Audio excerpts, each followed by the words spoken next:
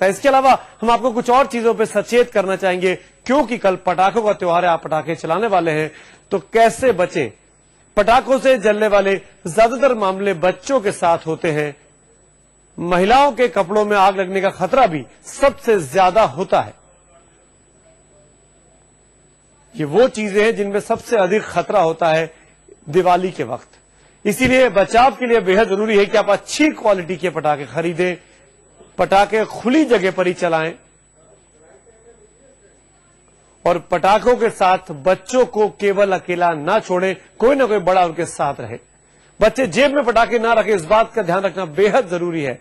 और पटाखा चलाते समय बाल्टी में पानी भरकर अपने पास ज़रूर रखें।